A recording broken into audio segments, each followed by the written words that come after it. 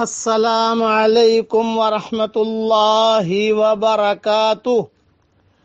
نحمده ونصلي على رسوله الكريم اما بعد۔ آج کا سبق سن لیجیے۔ سبق number one one seven nine Allah کا پیغام انسانوں کے نام۔ وهو الذي ينزل الغيث من بعد ما قنطوا وينشر رحمته وهو الولي الحميد اور وہی اللہ ہے جو لوگوں کے نا امید ہو جانے کے بعد بارش برساتا ہے اور اپنی رحمت پھیلا دیتا ہے۔ وہی ہے سارے کام بنانے والا اور تعریف کے لائق وہی ذات ہے۔ ومن آیاته خلق السماوات والأرض وما بث فيهما من دابة وهو على جمعهم إذا يشاء قدير۔ اور اس کی نشانیوں میں سے آسمانوں اور زمین کی پیدائش ہے اور ان میں جانداروں کا پھیلانا ہے اور وہ اس پر بھی قادر ہے کہ جب چاہے انہیں جمع کر دے۔ تھوڑی سی تفسیر سن لیجیے۔ اللہ تعالی ارشاد فرماتے ہیں کہ لوگ بارش کا انتظار کرتے کرتے مایوس ہو جاتے ہیں۔ ایسی پوری حاجت اور سخت مصیبت کے وقت میں بارش برساتا ہوں کہ ان کی نا امیدی اور خشک سالی کٹ جاتی ہے اور عام طور پر میری رحمت پھیل جاتی ہے۔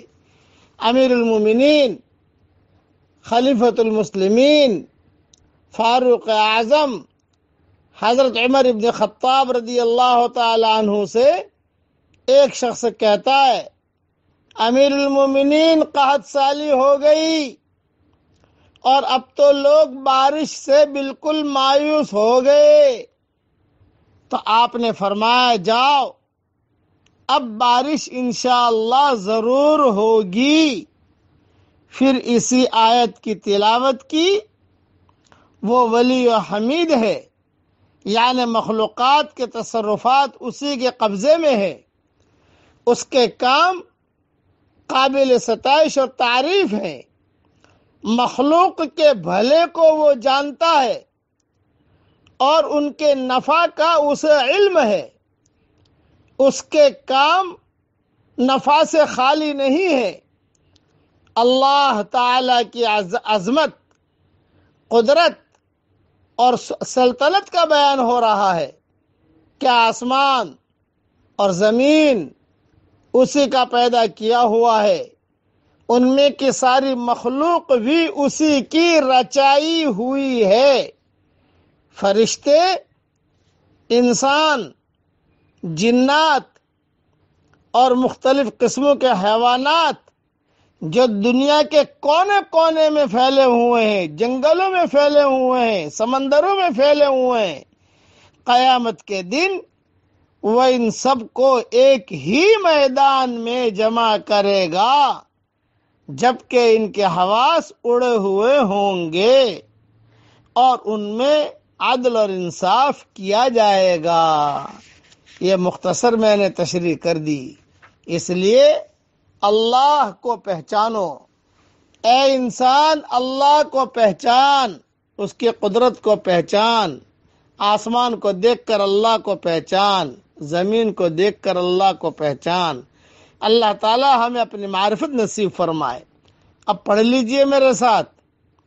لا الہ الا اللہ الحلیم الکریم۔ لا إله إلا الله العظيم الحليم. لا إله إلا الله رب العرش الكريم. لا إله إلا الله رب العرش العظيم. الله تعالى ہمارے سبق قبول فرمائے. آمين آمين والسلام عليكم ورحمة الله وبركاته. وآخر دعوانا أن الحمد لله رب العالمين.